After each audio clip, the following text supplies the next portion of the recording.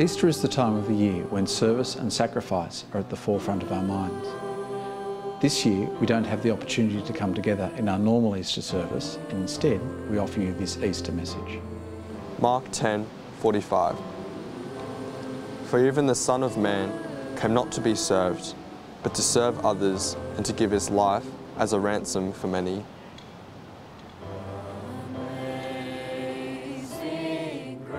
John 14, 27. I am leaving you with a gift, peace of mind and heart.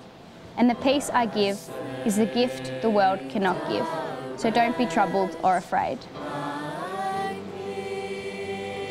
Romans 15:13.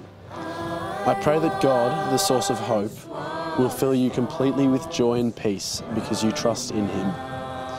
Then you will overflow with confident hope through the power of the Holy Spirit. Easter is a message of hope, a message of life after death.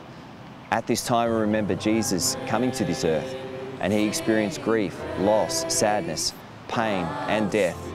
And his death was an act of sacrificial love for us. His resurrection is the hope that is the light in the darkness, a message of victory. Prophets spoke of Jesus before his birth, and he was given titles Wonderful Counselor, Almighty God, Prince of Peace, and Emmanuel, which means God is with us. Not distant, but with us in every season. That is my hope and prayer for you and your families this Easter, that you would know the peace, comfort, and presence of God at this time.